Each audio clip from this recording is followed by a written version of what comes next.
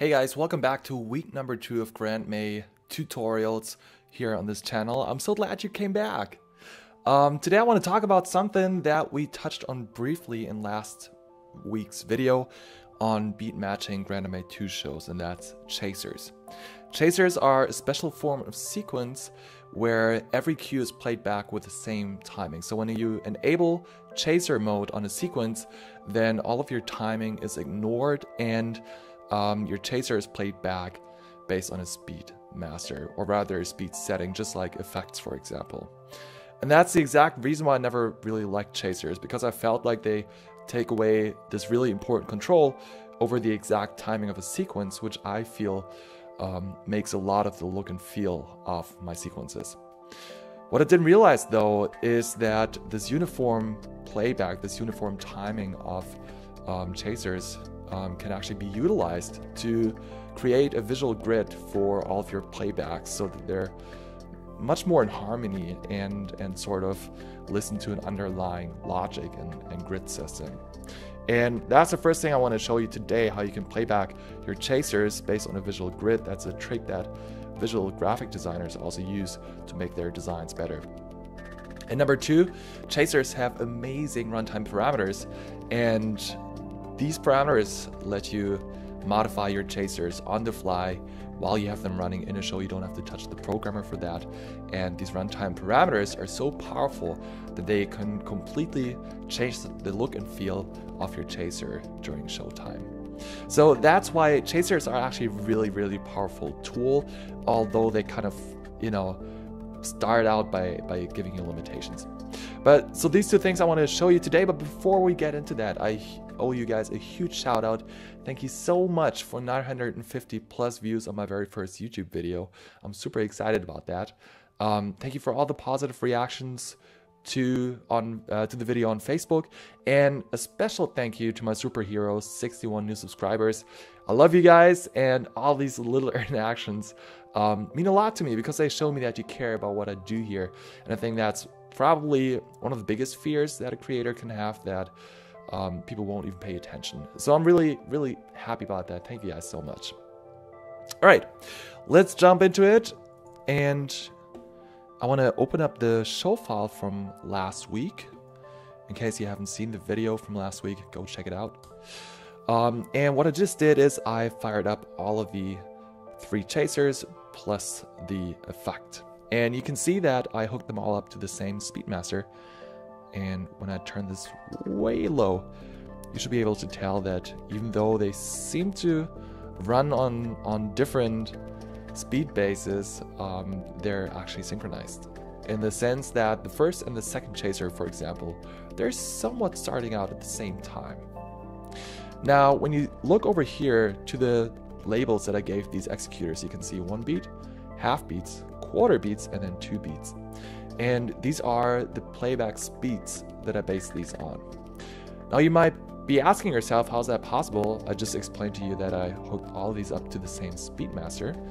And that's a trick which I used, which I want to elaborate a little more in this video. Um, if you go to the options, then you can not only assign a Speedmaster over here in the speed column, but you can also set a speed multiplier. And if I click on that, you can see here you can multiply compared to the base speed, or you can divide compared to the base speed. So this one over here runs on normal, which means it runs just as fast as the Speedmaster. This one over here runs twice as fast as the Speedmaster. Then this sucker over here four times as fast as the Speedmaster. And you can see you can actually go up to 8, 16, 32. And then the effect over here actually runs um, half as fast as the Speedmaster. And how you can kind of use that to make your chasers play back on different um, beat notations. Um, you know, I, I kind of mentioned it in passing by last week, so I wanted to take a moment to explain to you what I mean. So let's say that these white box up here are the step length of the shared Speedmaster. I'm just gonna turn GrandMA 3D off for now. Now when we set the speed to normal like we did on the first chaser, then it has the same step length in a way. It runs on the same speed as the shared speedmaster. Now if we set it to speed multiply by 2, it runs twice as fast as the Speedmaster. So in that case, for every step that the Speedmaster takes, this chaser will actually advance two steps forward. Same with speed multiplier 4. In that case, you go four times as fast as the Speedmaster. So you can see up here, um, in one step of the Speedmaster, your chaser will actually advance four steps. And then lastly, we have our effect, which is just half as fast as the shared Speedmaster. And then obviously, you know, with two steps of the Speedmaster, this chaser, or in our case, the effect, will only go forward one step. Now, the Speedmaster is based on beats, and that's probably pretty logical because it's set in beats per minute, BPM. That's that's what it stands for. So if you have a normal speed on the chaser, then it will also go forward one step per beat. If you now have the chaser run twice as fast as the beat as the speed master, not the beat master, then what will happen is that you have two steps in one beat. And so that's why you get half beats as the, the base playback speed. If you set it to multiplier by 4, you probably guessed it. So for every one beat that it takes the Speedmaster to go forward one step. So for every step of the Beatmaster, which is one beat in length, this chaser right here will take four steps. And again, if you divide one beat by four, what you get is quarter beats. And lastly, obviously, if you make it half a slow, then you have two beats or a half bar. And this little trick is how you can base your chaser's playback on various beat lengths in a way. And what's special about this is if we, mm, if you remember GrandMA 3D, you saw it, I made sure to trigger all the executors at the same time. And what I noticed, unfortunately, is that they won't stay perfectly in sync. For some reason, GrandMA 2 isn't quite that accurate.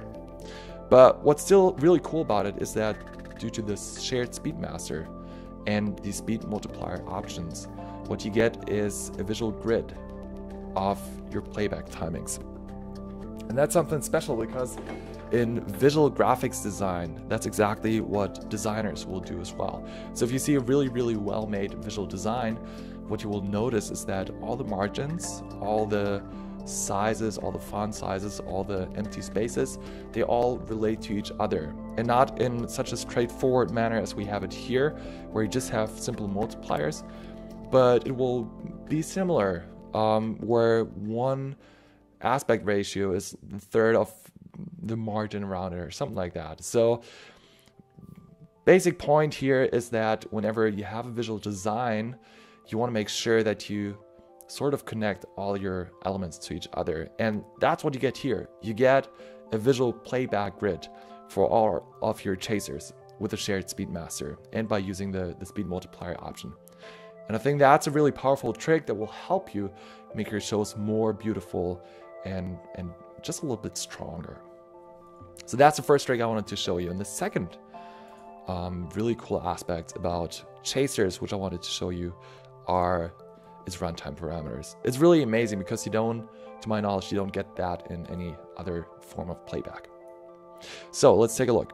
I'm just gonna open up the edit mode for this chaser. We can see here all the cues. Um, with chasers, they're actually called steps, but at the end of the day, if you know what I'm talking about, you know, we can say cues or steps, whatever. So we have three different groups of runtime parameters. And the first one is this one over here. So the default is an endless loop, and you can see with all the chasers that we have here, they just cycle through like you would expect it. What we can also do though is set it to shoot off, for example, and I'm just going to turn all of the other playbacks off so we can completely focus on the first one.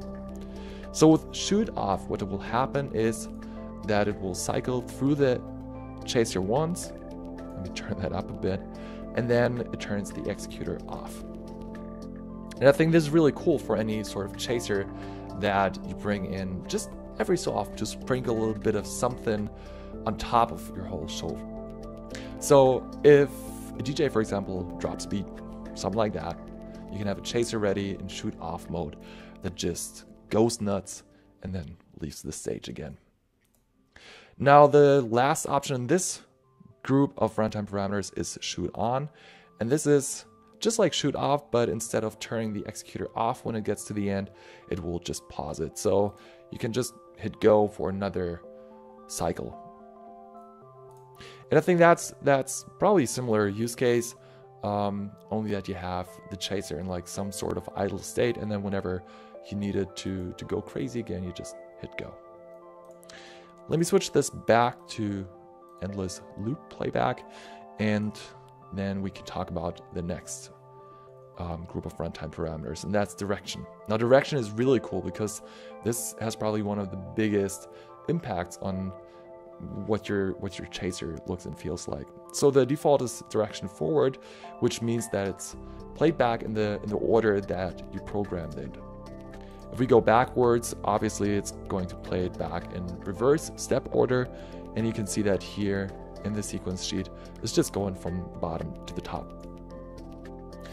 Now the third option is really interesting, but also not too hard to guess. It's bounce, and you can actually see that really nicely over here with the yellow um, playback marker. So it's just going forward until the last step and then backwards to the first step, and then, you know, the whole cycle from the beginning.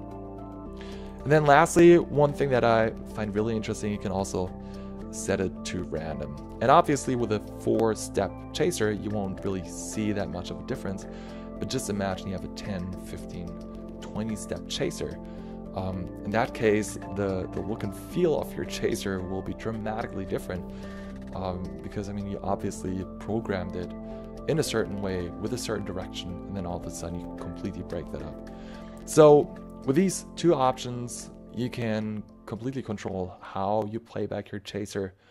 Um, and also, what's really important, you can control the direction and sort of reuse that one chaser in many different ways. Now, the last group of runtime parameters, which I absolutely love, are the fades. And you can see that up here in the encoders, but I also prepared a quick access macro for that. I'll show you that in a second. So let's just, yeah, let's just keep it at random and then increase the step fade to 50%. And now what will happen is that you can see the chaser is not jumping around, um, but instead it's actually fading just a little bit. And you can see that it's fading in and it's fading out slightly. And the reason why I love this so much is because it can give your chaser, it, can kind of take the edge off your chaser just a little bit and make it so much more softer. So depending on, for example, the mood of a track or I don't know, the mood of a player, whatever you do the lights for, you can actually use that one chaser and make it super, super soft. And then when you need it back to be harsh and bam, in there, then you just turn the step fade off and then it's back to being really up in your face. Now, the cool thing is that you don't have to control step in and step out fade, um, you know, with one option, but you can also set them separately. So we can, I don't know, set this to 100%, and then you can see um, it's turning off really harshly. It's kind of hard to see with a with a random direction. So now it's fading in, sort of. All right, let me show you the macros, and then we we can actually play around with it a little more. So the macros that I prepared up here are just one-liners. It's really not that big of a deal. Um, you could also have the same effect by just going to the function and then switching, let's see, where do we have it? Step in fade, step out fade, and step fade. Those are the four options that we just saw in the encoders. But I thought I'd make it a little more quick access, especially for people like me uh, who don't have a console or a command wing. So now that we have a, an executor selected, we can just turn it to a fader. And now you can see I can perfectly control the look and feel of my chaser uh, with a fader. Whenever I need the, the master back, I just click on here and then can turn it in, fade it in and out. And also what's really nice, I can also set these separately. So what I actually really love doing is just setting the step out fader uh, because it makes your your chaser bleed a little bit and I love that look. All right, and I mean, same thing goes for other chasers. You just hit select, you let it run way too harsh. So let's switch this over to fader and make it a little softer, which you can't really see because the mm, the step length is not very high. And 100% fade just means that it's going to fade 100% of the step length time. All right, but that's it. That's the two things I wanted to show you. One, how you can make sure that all of your chasers play back on a shared visual grid using a shared speed master and speed multiplier options. And number two, the wealth of runtime parameters that you can use to completely change the look and feel of your chasers while you have them running. You don't have to switch into the programmer for this, um, but you can safely modify them on the fly. And that's something that I think makes chasers a really powerful and special tool. And I hope I could convince you a little bit of that. All right, um, last reminder, last two reminders. Again, with any video that you see that has the yellow show file inside sticker on it, it means that you can completely um, download the show file for free in the video description. Same goes for this video. And number two, if you have any questions, um, requests for a video, whatever it may be, or better yet, um, a picture of how you're using any of my tutorials in your setups, then make sure to hit me up on Twitter at a guy named Jonas. Link is also in the description below. And with that being said, thank you so much for watching. I hope you learned something, and I hope you have a really, really great week. Bye bye.